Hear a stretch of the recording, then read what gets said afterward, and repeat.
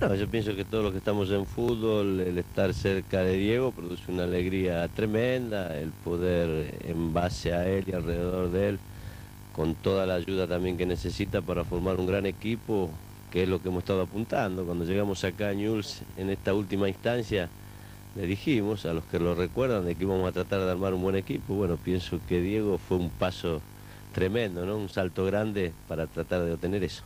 Esto nace el día que en un partido contra Sevilla Diego eh, es reemplazado, ¿no?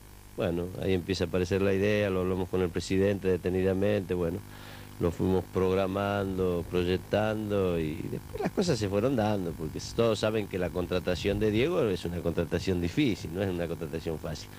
Pero indudablemente, bueno, nosotros pusimos eh, todo lo nuestro a disposición de su representante Franchi, de Diego, de sus abogados, fuimos charlando, fuimos avanzando. No decíamos mucho porque tampoco queríamos crear falsas expectativas ni lograr promoción en base a Diego.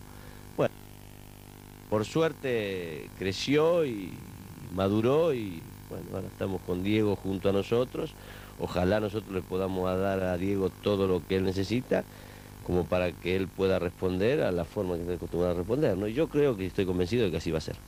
Hemos estado hablando anoche, después de, firmar el contrato, ¿no es cierto?, por medio de su representante y el presidente, y quedamos en ponernos de acuerdo esta tarde, después del entrenamiento, eh, en ya tener un, programa de trabajo. El fin de semana este nosotros no vamos a estar en Rosario porque jugamos el primer partido afuera.